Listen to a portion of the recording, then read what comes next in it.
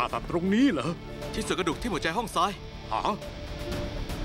เส้นเลือดแดงอื่นไม่เสียหาย ไม่ได้นะ รอรถพยาบาลมาก่อนดีกว่านะ เราไม่ได้ ไม่งั้นก็จะช็อกเพราะหัวใจบีบรัดแล้วจะผ่าตัดในที่แบบนี้ได้ยังไงเล่ามาเลยเข้า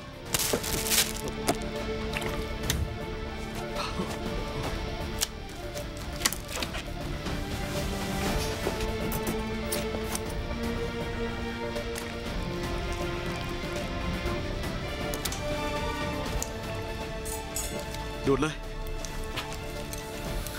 ทำไมมันเบาแบบนี้ ไม่ทันเห็นอะไรแน่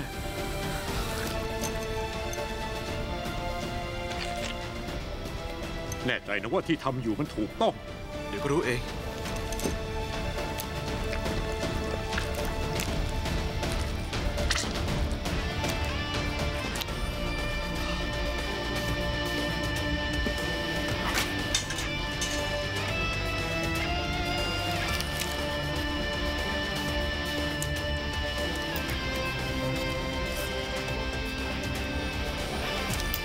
นี่นายมองเห็นด้วยเหรอ สภาพแบบนี้จะเย็บแผลถูกได้ยังไง